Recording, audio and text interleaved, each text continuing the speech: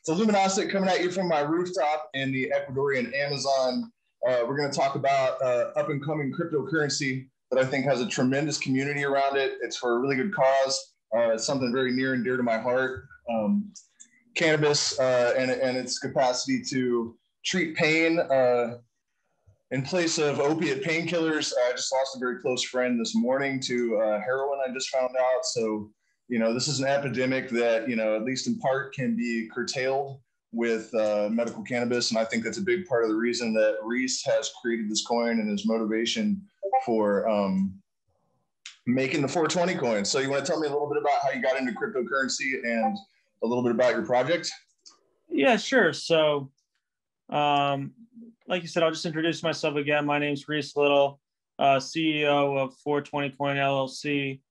Um, you know, I got into cryptocurrencies back in 2017 um, when a friend of mine just kind of introduced me to it. He said, you know, hey, this is a, uh, it's an up and coming thing. I think you kind of check it out.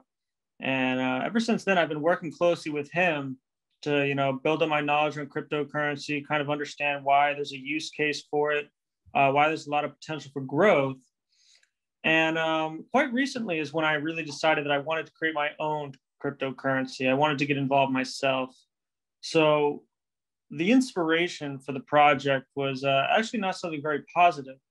Um, my uh, friend, or one of my friends from high school, who I knew, I've known for at least five years now, uh, was injured in a tragic skiing accident.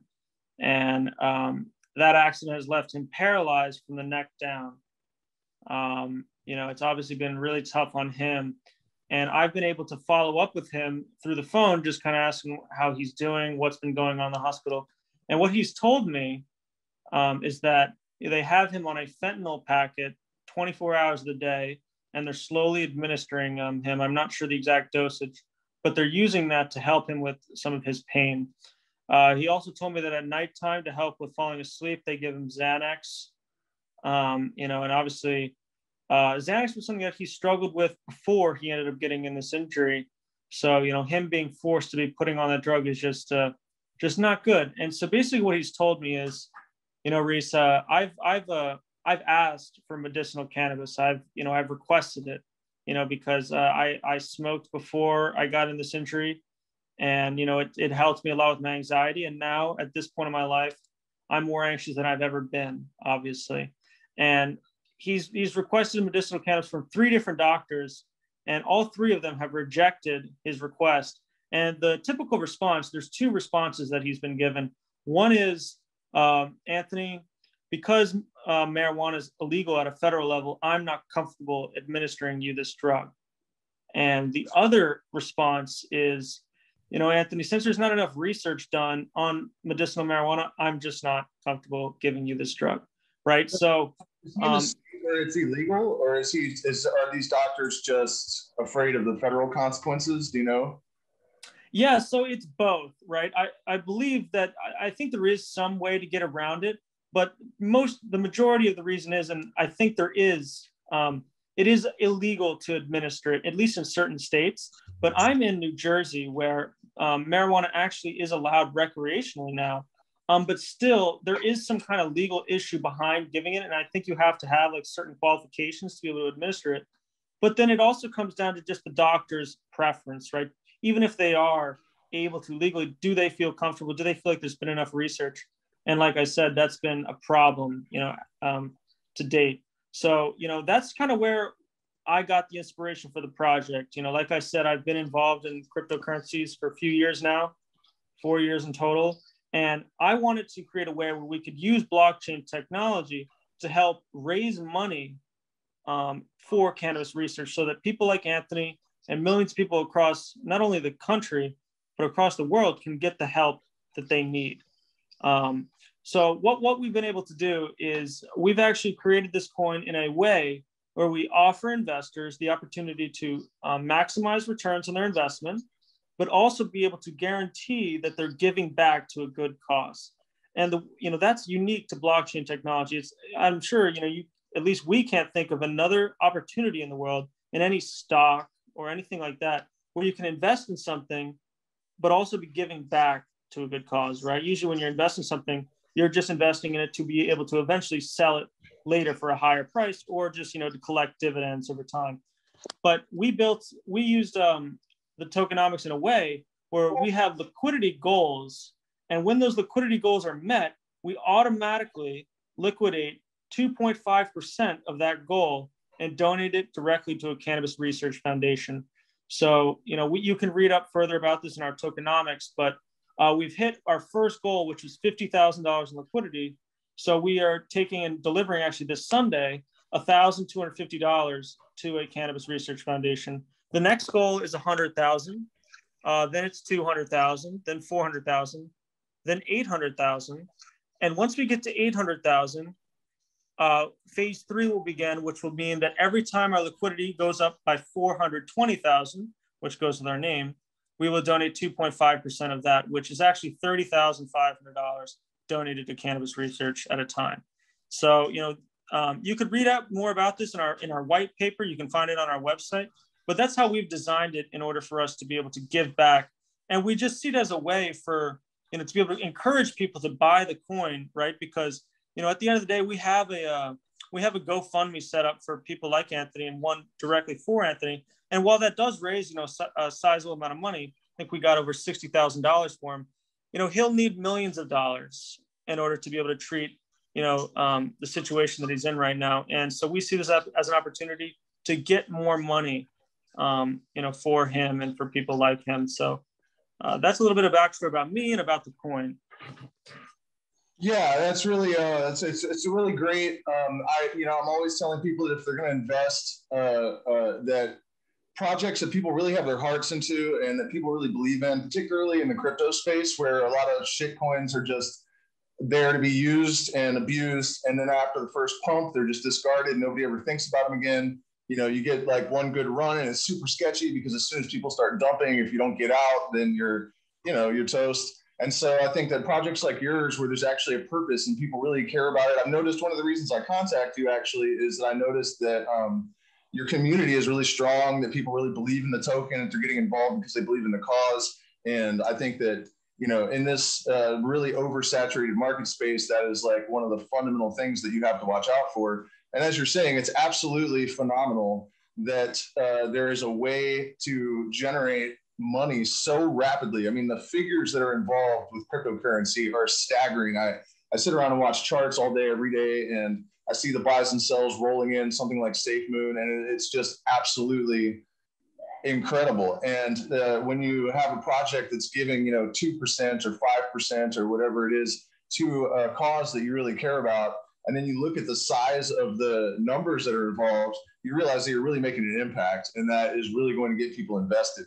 And um, so, yeah, it's a really great thing. I hope that you guys uh, will put some of that that that donation money towards federal legalization because, as you were saying, even in states where um, there are medical marijuana laws, the doctors oftentimes, even if they believe in medical marijuana, will be afraid to uh, prescribe it or to even advocate for it because they can have their licenses taken away or they can be put in jail and this has actually happened to a number of doctors. Of course, they backed off quite a bit over the years, but it's still obviously, you know, in the case of your friend, it's a big concern.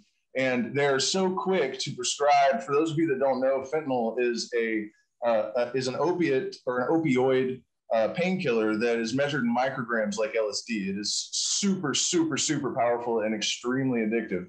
Um, that one and Suboxone, which is actually given to people to get off. A lot of rehabs will come or if you go to the rehabs, they will tell you to go back out on the street and get addicted to heroin for a few weeks so that they can have an easier time getting you off of the pharmaceutical drugs that you have been prescribed.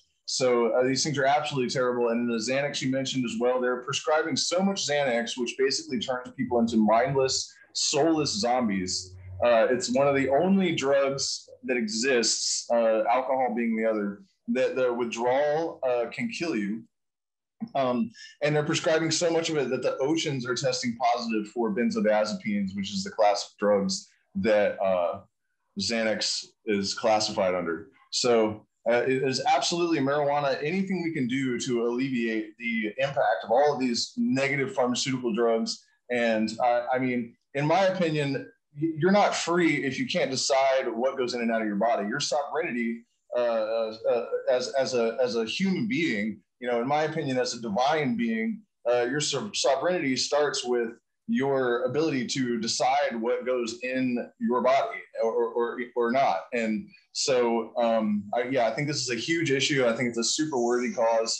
Uh, so I want to thank you from the bottom of my heart. And, you know, also, I think that um, providing an opportunity, as you were saying, for people to empower themselves while empowering um, societal causes or environmental causes. In my case, I'm working on uh, putting together ayahuasca coin, which is sort of the same thing. Uh, we want to benefit the indigenous people here in the Amazon because the Chinese mines uh, miners are coming through and destroying uh, the Amazon. They're throwing the indigenous people out of their communities with only three hours notice and bulldozing them to the ground. And the only way to stop them is by generating money. And I think the only way to generate the money quickly enough is through cryptocurrency. So this is a tremendously powerful opportunity. And uh, you know, Reese, I know I've watched the community build around your coin over the last week or so. You guys have experienced a tremendous amount of growth. Is that correct? Yeah, you know, we uh, I think we just clocked in another 25 holders just yesterday, which brings us to 225. Uh, I believe we're going to hit week two tomorrow. So we're at 225 holders in two weeks. Uh, we had a market capitalization of a million dollars in our first week and came down a little bit since then. I think we're at 600,000. Um, but, you know, super excited about the future.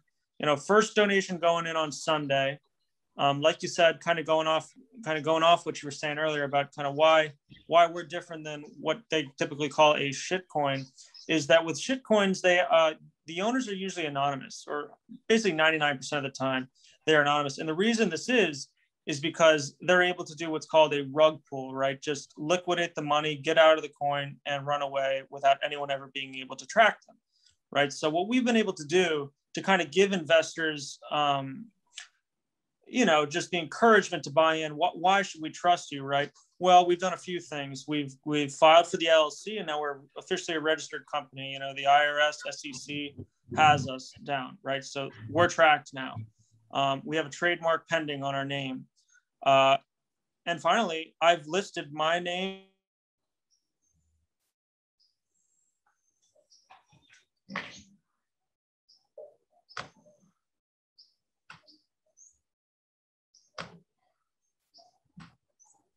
know exactly who I am. So it is basically impossible for us to go in, for example, rug pull, and to even further, um, you know, make it a kind of a safer guarantee that you know this is a we're not just some scam coin. We've locked 25% of liquidity up to date, making it no matter what we do, even if we were to break the law, it is impossible to do so now that we've locked it that way. So we're eventually going to bump this number up to 75% once we raise um, a little bit extra capital because it does cost a decent amount to have that locked. But um, once we do, that that'll be following following suit. And you guys have audits scheduled and and the roadmap and all of that on your um, on your website. So we don't have a roadmap uh, update. I'm actually be working on the website later today, but we do have you know our mission. You know what inspired us. Kind of everything I've told you here today um, what we have been telling investors in the Discord so far is that we have been in contact with a larger exchange. You know, for us, um, what we've realized is we need to continue to be, to continue our growth.